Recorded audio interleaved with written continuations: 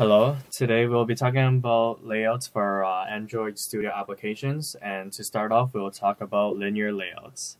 Just like how the name sounds, the views can be aligned horizontally or vertically. For the vertical layout, the views will be aligned from the top and the bottom of the elements and you can put these elements in separate columns but they would still be aligned from the top and bottom. As you can see, when we place two buttons on top of each other, they are aligned in the same column relative to the bottom of the top element. Now, when we add a third button between these two, but in a separate column, you will see that it would keep the vertical flow and there will be a space in the column where the new button would be if we placed it here.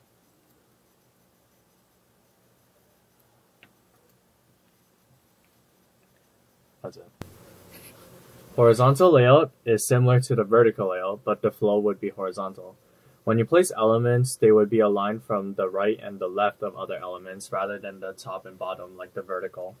As you can see, the same thing happens when you place two buttons horizontally this time and uh, in the same row. And then if you add a third button on a separate column, a space would also be created to maintain the horizontal flow.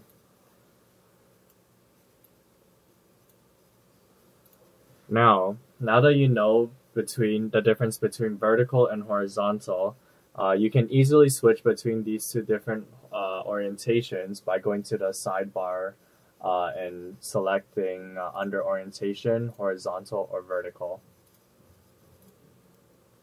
And if you're like a keener like Justin Lai, and read code all the time, you can go into the background code and under this line, you can just change horizontal and vertical in the string and it will automatically do that.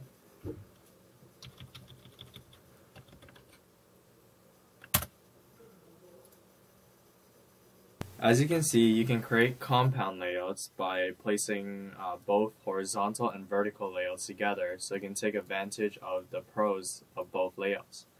I'll be able to create a T-shape with buttons by inserting a vertical layout in a horizontal layout.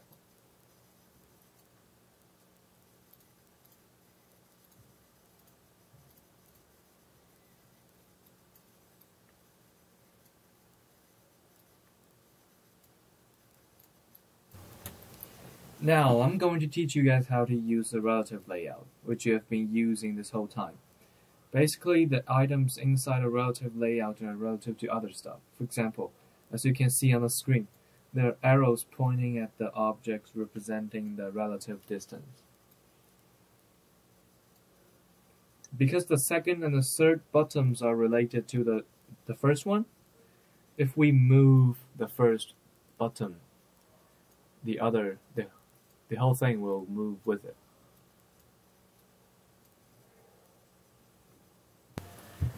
Okay, the following pro tips are for pros like Dong Hwan Kim.